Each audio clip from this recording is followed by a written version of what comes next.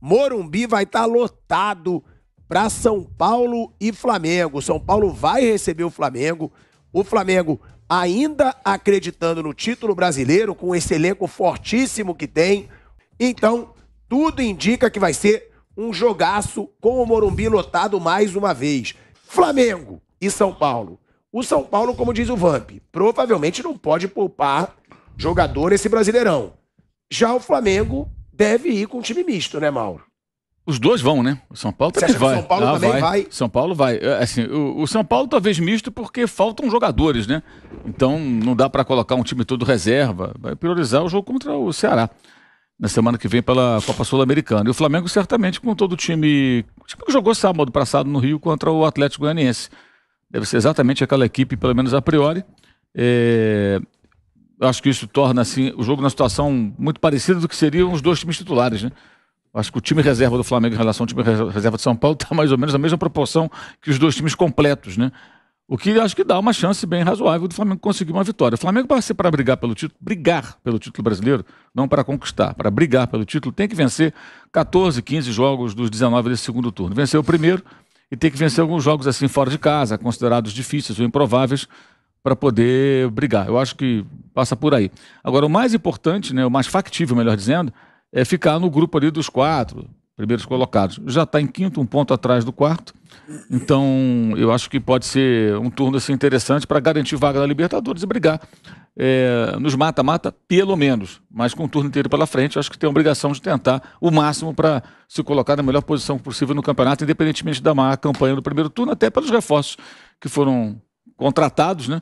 Que elevaram aí o, o, o, o poderio do, do elenco e também o fim daquela quantidade, pelo menos por enquanto, né, enorme de desfalques por contusão, né?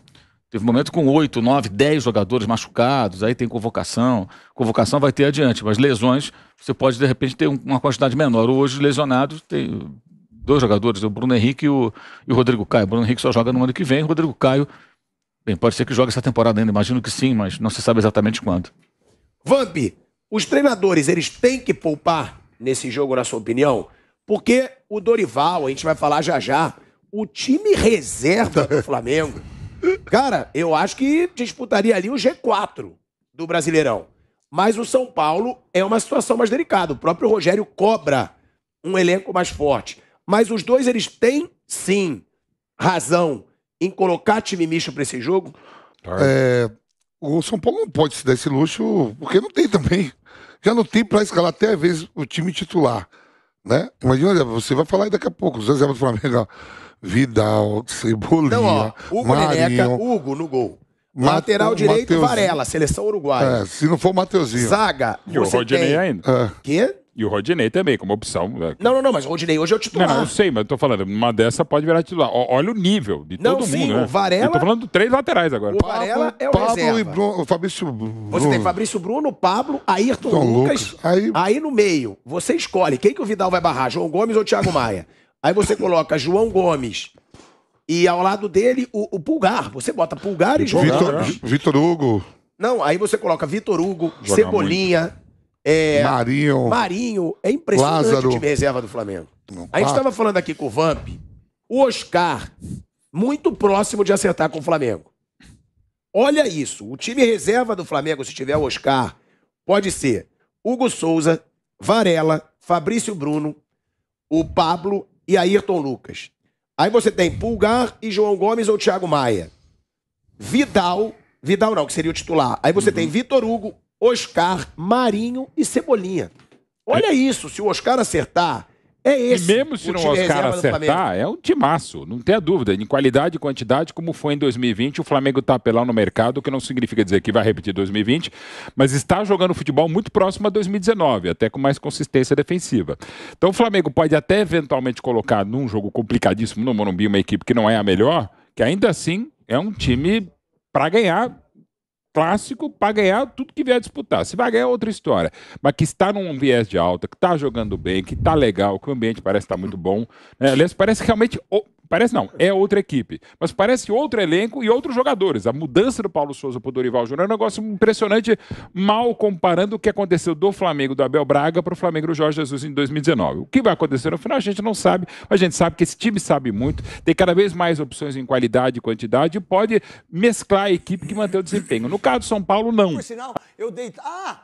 Deixa eu falar do Flamengo. Só uma coisinha. O Flamengo vai contratar o tal de Oscar, né? Uhum. Oscar, cinco anos na China, 44 gols. Na China, hein? Dá quase nove gols por ano. Na China. Na China. Aí, ele jogou cinco anos aqui no futebol brasileiro, fez 19 gols. Jogadorzinho meia colher. Não joga na seleção de 2016. Deu, ó, ganhou dois títulos na China. Pô, o Oscar é um jogador meia colher. Com 23 anos, 24, tudo bem. Com 30, meia colherzinha. Nem pedreiro é. Você acha que o Oscar, 5 anos, você acha que ele tá, tem bola para jogar no Flamengo? Os caras estão muito tempo fora e quando esteve aqui também nunca foi um jogador que resolvia, né? Um jogador para compor elenco, um jogador importante para os times, mas nunca foi um jogador Pô, protagonista. de China, Vou mudar, protagonista. Ele nunca foi protagonista. É do Juliano Bertolucci, por isso que tem mercado. Eu, eu não acredito que o Flamengo vai fazer uma grande contratação com, com, Oscar, com o Oscar também, não. Não acredito. Não acredito mesmo. Não acredito. Vai ser outro Diego. Eu acho que pra você. Lázaro é melhor, Vitor Hugo é melhor que ele, jogadores da base.